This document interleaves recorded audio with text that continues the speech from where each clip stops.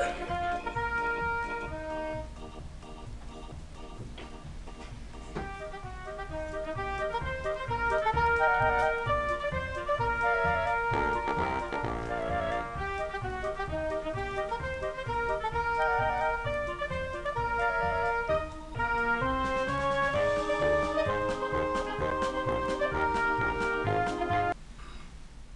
morning, villagers. Welcome back to another edition of the VES News.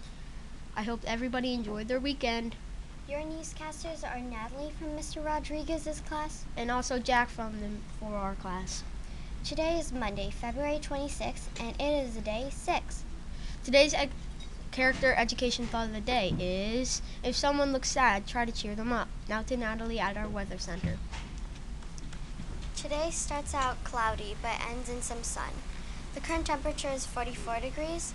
Today's high will be 50 degrees with a low of 32 degrees. The current humidity is 100%. Tomorrow will be sunny with a high of 51 and a low of 33. Looking at the radar, we see clear skies. There will be playground and blacktop recess today. We just have to check the equipment when recess gets closer to make sure everything is dry. Our moon is waxing its way to a full moon. We will have a full moon on Friday. Thanks, Natalie. Today's lunch will be a toasted triple cheese sandwich. With tomato soup, seasoned peas, and assorted fruit, Tomorrow's lunch will be chicken nuggets with a dinner roll. along with tater tots and fresh broccoli. And don't forget to pick up a piece of fruit. At this time, please stand as we honor our country with the flag salute. I pledge allegiance to the flag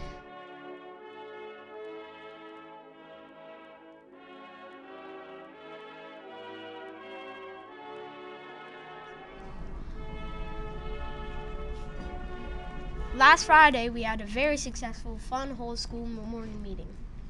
Lots of fun greetings and great things to celebrate. Speaking of fun times, this week we celebrate Read Across America.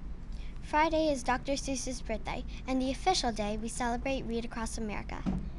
There are a bunch of activities your class may be participating in. Here's a few. Today, classes are invited to start decorating for Read Across America. You can decorate a classroom door, a bulletin board, or part of a hallway. Tomorrow, bring in your favorite book and share or create a book review, a poster of other, of other creative project. On Wednesday, it's Wacky Wednesday, so wear crazy colors, patterns, stripes, and polka dots. Have fun with this wacky day. On Thursday, it's another school spirit day. Wear VES gear and play, and it's board, board game. It's board game day. play board games like Boggle, Scrabble, and Apples to Apples. Friday is officially Dr. Seuss's birthday, so it's wear PJ's day with slippers and bring in a stuffed animal. The whole school will drop everything and read at 3:30 on Friday. Your class will also have a guest reader at some point during the week. And don't forget about those cereal boxes, Dominoes. Hey Google, how old would Dr. Seuss be today? On the website newsfeed.time.com, they say, Beloved children's book author Dr. Seuss would have turned 108 today, and he would surely have been proud to see that his works are still relevant as ever, resonating with children, and ad- Thank you. I'm happy to help.